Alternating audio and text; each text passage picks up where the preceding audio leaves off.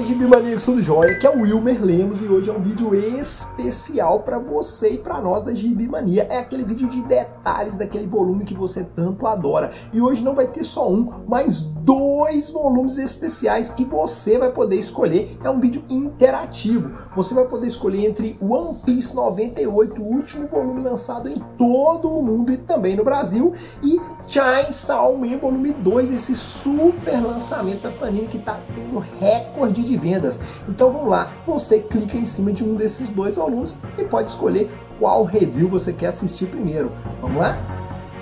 Escolhe um dos dois.